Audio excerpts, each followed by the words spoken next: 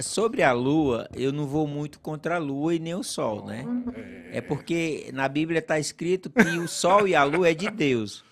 Então, se o sol e a lua é de Deus e Deus é dono de tudo, É, pode e a crer. sabedoria popular, É, hein? pode crer na lua. Tem gente que só corta na lua cheia, na lua minguante, na lua crescente, lua nova. Tem- cada um tem um- uma Tem, lua porque tem- preferida? Tem, gente que quer que o cabelo cresça muito.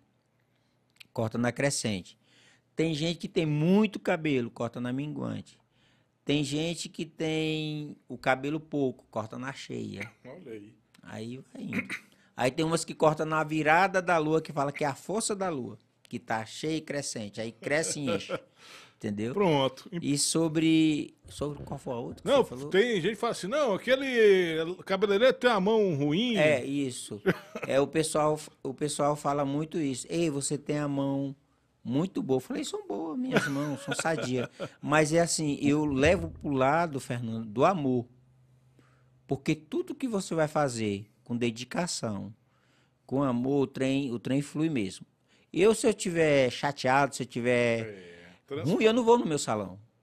Meus clientes não precisam de ter a minha negatividade. Eu estou lá para distribuir tanto o, meu trabalho de qualidade, como a minha amizade, como o meu, meu, meu atendimento, entendeu?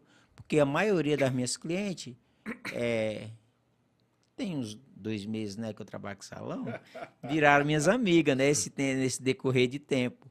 Então, são minhas amigas. Então, já é um, um tempinho que tem, que eu tenho que. Se eu chegar lá pelo menos com o olho assim, o que foi, Carlinhos? O que você tem? Aí eu falei, não, não vou contrariar. São fiéis, né? São fiéis, clientes. graças a Deus. E tá vindo mais. E é para vir mais agora.